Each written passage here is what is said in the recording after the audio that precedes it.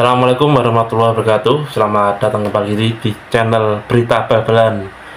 Menginformasikan hasil pertandingan pekan ke-17 Antara Persis Solo melawan Bayangkara FC Skor 2-1 untuk Persis Solo.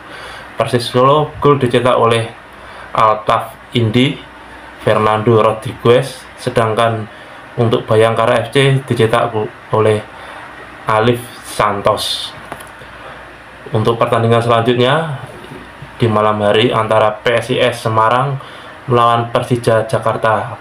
Kemenangan skor 2-1 untuk PSIS Semarang.